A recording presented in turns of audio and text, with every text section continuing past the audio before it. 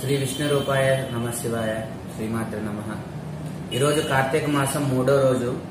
So మూడో రోజున ఐదో అధ్యాయం తర్వాత ఆరో అధ్యాయంలో వశిష్ఠ మహర్షి జనక మహారాజుకి ఏం చెప్తున్నారో చూద్దాం. ఐదో అధ్యాయంలో కార్తీక వనభోజనాలు అనేవి ఏ విధంగా చేయాలని చెప్తారు. సో ఇక్కడ ఆయన ఏం చెప్తారంటే మనం అనుకున్నట్టు ఎక్కడికంటే అక్కడికి ఒక పార్క్కి వెళ్ళేసి ఏదో ఒక ఫుడ్ తీసుకెళ్ళి తినేసి రావడం కాదు. మనం వెళ్ళే తో- చోట ఖచ్చితంగా ఉసిరి చెట్టు అనేది ఉండాలి. ఉసిరి చెట్టు కింద శాలిగ్రామాన్ని పెట్టి పూజ చేయాలి. లేని పక్షాన కనీసం సత్యనారాయణ స్వామి వ్రతం అన్నా ఆచరించాలి. రెండూ కాదు అనుకుంటే కనీసం దామోదర తులసి వ్రతం చేస్తారు. అదన్నా చేయాలి. ఇట్లా వీ- వీటిలో ఏదో ఒకటి చేసి స్వామికి నివేదన చేసి ఆ దాన్ని ప్రసాదంగా కార్తీక వనభోజనాల్లో స్వీకరించాలని వశిష్ఠ మహర్షి జనక మహారాజు చెప్తారు. తర్వాత కార్తీక మాసంలో ఈ యొక్క వనభోజనాలు చేసిన తర్వాత దీపదానం గురించి కూడా మనకి ఆరో అధ్యాయంలో చెప్తారు. ఈ కార్తీక వనభోజనం యొక్క ఇంపార్టెన్స్ చెప్పిన తర్వాత మనకి దేవదత్తోపాఖ్యానం అని ఉంటుంది. ఈ దేవదత్తుని గురించి చెప్తారు. అసలు ఈ దేవదత్తుడు ఎవరు అంటే మనకి కావేరీ నదీ తీరంలో దేవశర్మ అనే బ్రాహ్మడు ఒకడు ఉండేవాడు. అతని కుమారుడి పేరు దేవదత్తుడు అని చెప్తారు. ఆ దేవదత్తుడు అసలు మన మన వైదిక ధర్మాన్ని ఫాలో అవ్వడు తర్వాత ప్రతిదాన్ని వ్యతిరేకిస్తూ అందరినీ బాధ పెడుతూ అట్లా ఇష్టం వచ్చినట్టు ఉంటూ ఉంటాడు.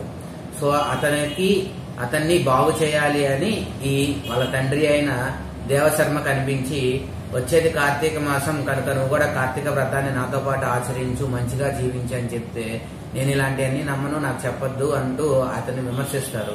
అప్పుడు వాళ్ళ నాన్నగారి కోపం వచ్చి నువ్వు అడవిలో ఒక కలుగులో ఎలుగులాగా బతుకు అని చెప్పి చెప్పిస్తారు. అయితే అతనికి భయం వేసి ఆ శాప విమోచనం అడిగితే కార్తీక పురాణాన్ని నువ్వు ఎప్పుడైతే శ్రద్ధగా వింటావో ఆ రోజు నీకు శాప విమోచనం జరుగుతుంది అని చెప్తారు. తర్వాత అతను వెంటనే ఎలుకగా మారిపోతారు. అట్లా ఆ యొక్క కలుగులోకి వెళ్ళిపోతారు.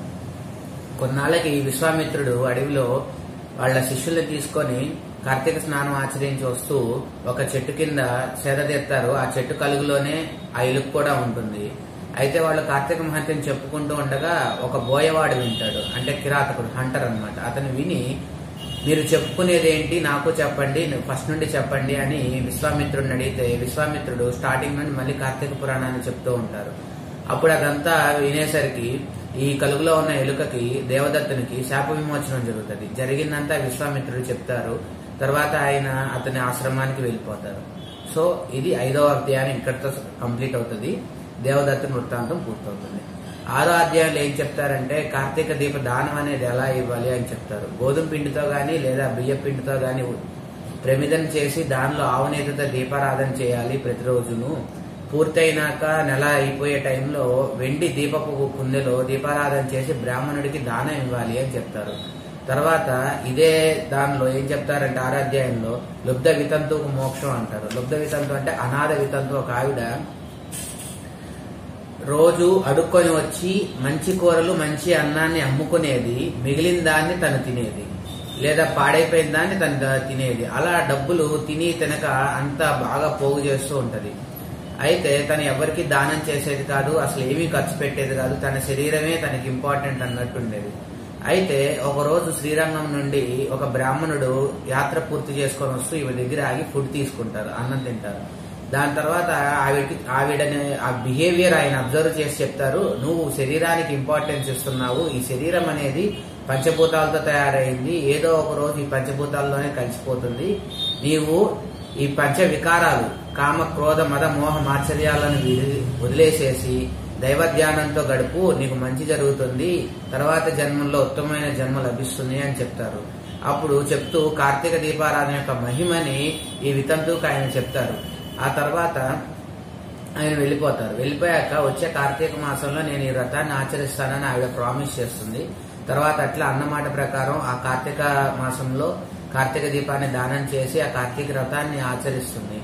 సో త- దాంతో తన విష్ణులోకాన్ని వెళ్తుంది అనేసి మనకి వశిష్ఠ మహర్షి జనక మహారాజు చెప్తారు. సో ఇట్లా కార్తీక దీపం యొక్క ఇంపార్టెన్స్ని ఆయన చెప్తారనమాట స్వస్తి. ఈ వచ్చే రోజు నాలుగో రోజు సో నాలుగో రోజున మనం ఏడో అధ్యాయం మరియు ఎనిమిదో అధ్యాయం గురించి చెప్పుకుందాం. నా వీ- నా వీడియోస్ని లైక్ చేయండి షేర్ చేయండి అండ్ సబ్స్క్రైబ్ చేయండి